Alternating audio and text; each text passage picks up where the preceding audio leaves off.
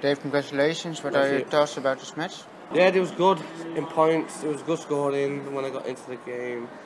Missed a few doubles, let him in, but he missed a double to go 5 0. Six darts at the 32, but he missed an took my chance on them. From that, from that, he took two big finishes out, but then I replied game straight, straight after with a 1 3 for myself. I think that was just the difference, really. The one uh, 34 was an important moment.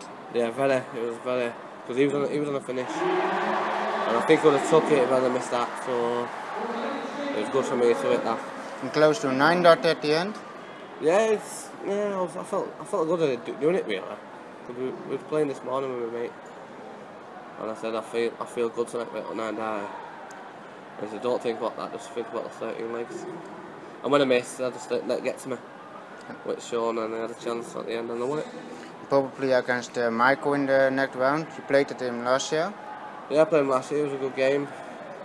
And uh, it don't matter who will play the next round. It's going to be a tough game no matter what. But they're both playing well.